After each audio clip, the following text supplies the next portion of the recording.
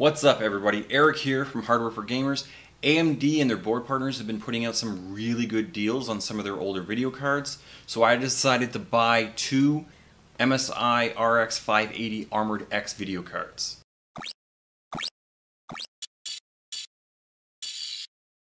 I was going to make two videos, this one being the more technical one, where I was going to take a look at the card's cooling performance, and then I was going to tear down the card to look at how it was made. The second video will be on the gaming performance of the card, and I'm also going to be trying out Crossfire. Now I'm pretty sure I know how that's going to work out, and that's pretty badly, but I'm going to try anyways. So I'm not going to go too much into the overall specs of the card. It is an 8GB RX 580 with the core clock of 1366 MHz. The card has one DVI port, two HDMI ports, and two display ports. The MSI Radeon RX 580 Armored X is what this card is being sold as. The box doesn't have an X on it. Now I believe MSI is just reusing some of their packaging because I'm pretty sure there was an MSI RX 580 variant with the name Armor, so just watch out for that, especially if you're buying these cards on the used market. And that is because I believe the X variant has a better cooler, and just like Steve from Gamer Nexus says, the more X's in a product, the better it is. That's what that rant was about, right? Now for a quick look at the card's cooling performance. Now just a reminder, all these are in Celsius and shown as a delta T. The auto fan profile had a max temperature of 43.5 degrees, with the 40 dBA noise normalized test having a temperature of 46.5 degrees Celsius. And if you pump the cooler to the max, it has the potential to keep this down at 32.5 degrees Celsius, again shown as a delta T. The auto fan profile has the decibels maxing out at around 42.5 and if you set the fan to max, it is a near deafening 60 decibels. And the max peak load this thing had was 140 watts. The idle wattage is somewhere around 6.5 to 7.5 watts. And the typical load when playing a game is somewhere around 130 watts. Okay, now it's time to open up the card and see what's inside. Okay, so we got a back plate, which is interesting. Now I already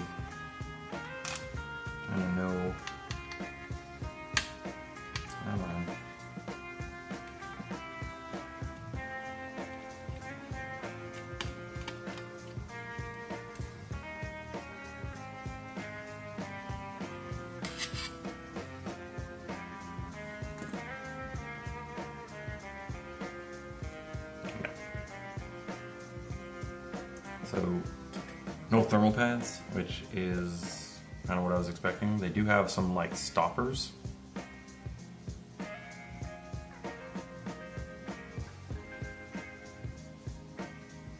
I'm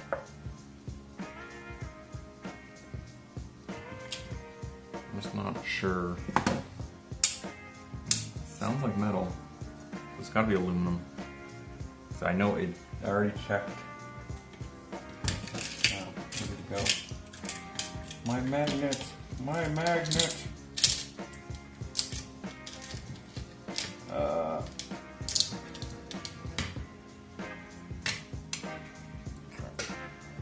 so it's obviously not steel. Quite likely aluminum. I've never seen anything quite like this before. Looks like it's there's uh, some. I guess it's obviously to stop uh, shortings, shorts or anything like that from happening. But thermal pads would do that, so I'm not exactly understanding that one.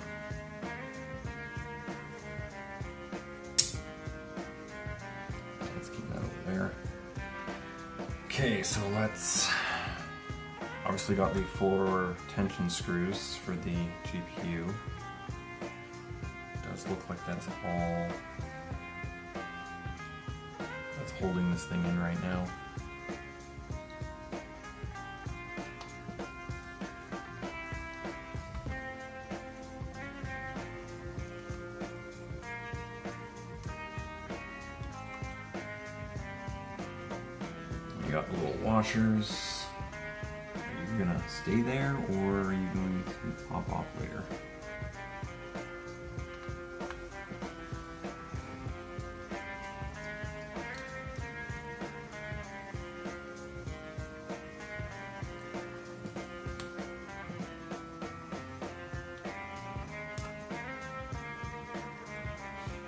You. You should not be there. Sick 'em, Steve. Sick 'em. Get 'em. Get 'em, Steve. Get 'em. You're friends with MSI. You talk to them a lot.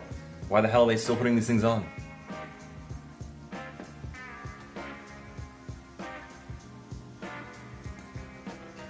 So that should be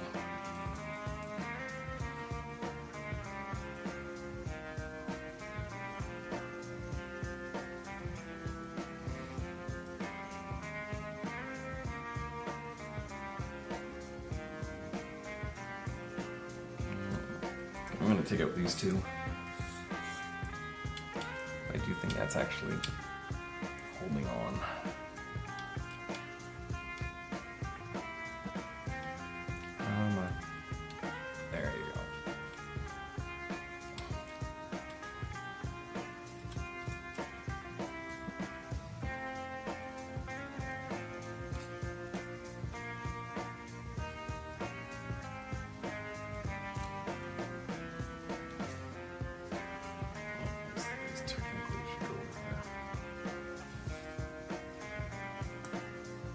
Probably wasn't very good.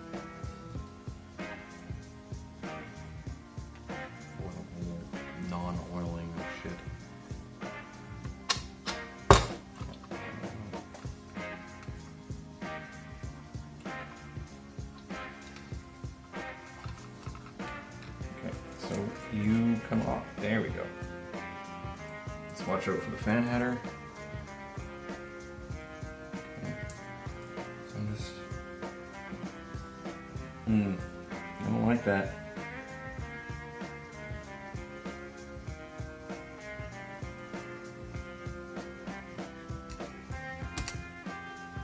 Nice that they have these plates, and these plates um, are aluminum.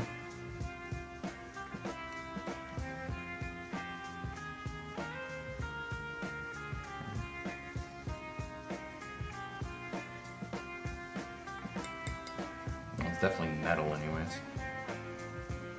Ooh, that's a thick pad there.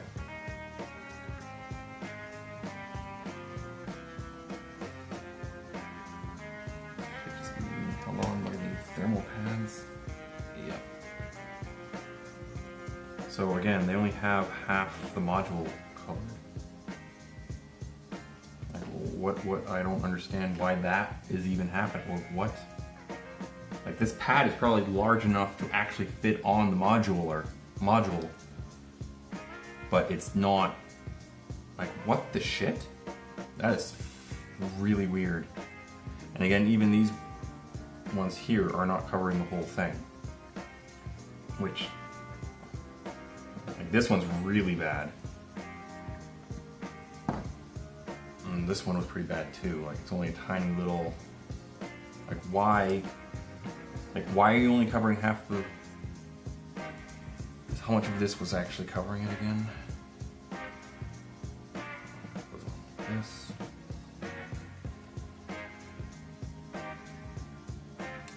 Yeah. Like, so you got nothing on this one, and only half on that.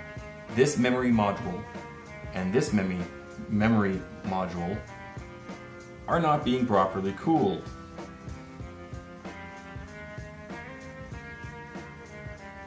Wow. Okay, I was not expecting to see that.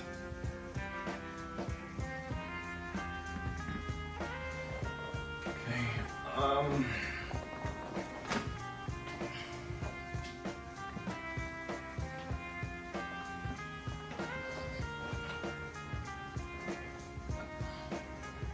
We got little stoppers, like weird. Like some of the stuff is really nice and some of it's just really wonky.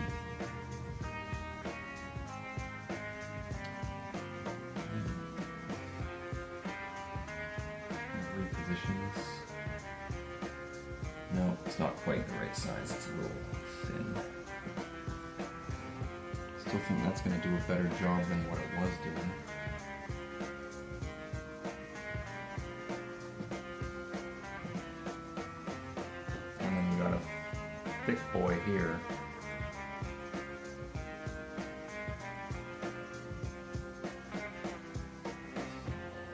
I would guess that's two millimeters going along the top of the cap there. Which that's then touching the fin stack, which I suppose I do believe it is positioned right over the heat pipe. So it is, the heat pipe's doing something. That's for sure. That, that is stupid. Okay, and then back with the magnet? There we go. So this is all aluminum. These are obviously copper heat pipes that are then nickel cro uh, plated.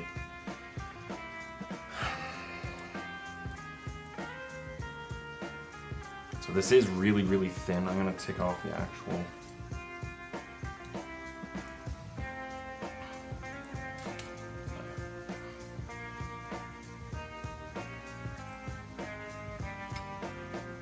So they're the fans.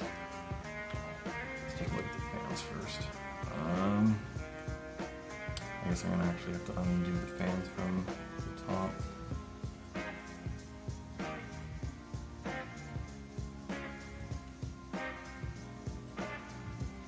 Let's actually.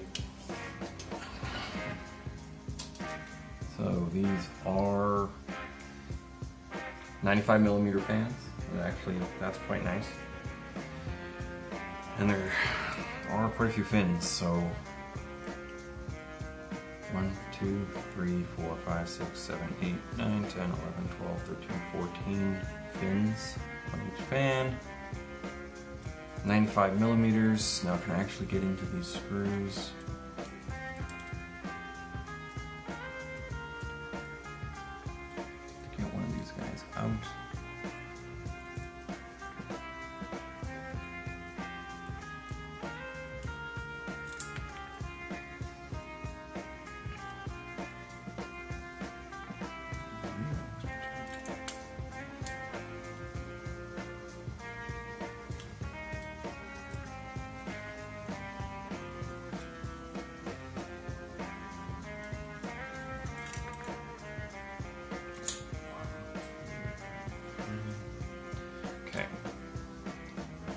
So they are a 12 volt, 0.4 amp model PLD 10010B12HH. So that's back together.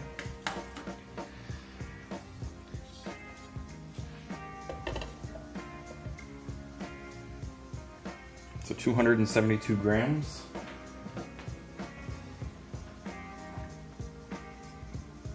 So this one I don't fully understand because it's not really doing much. So that one's 28 grams.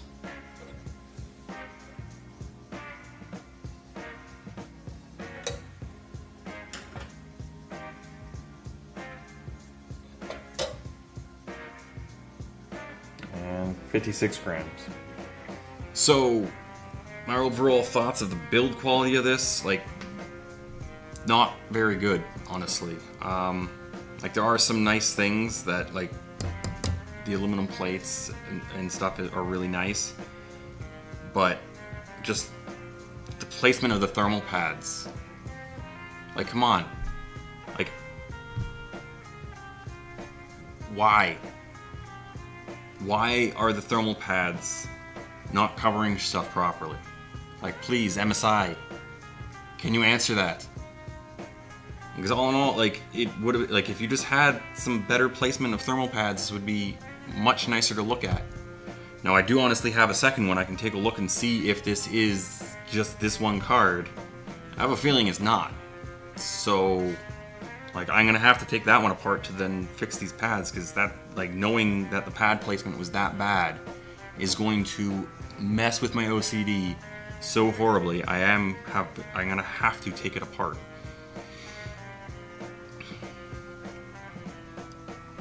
So, like the temperatures for the GPU were decent. Like they, they, they were quite decent. Um, Now I actually kind of wanted to like maybe hook up some my K-type thermocouplers and actually take VRM and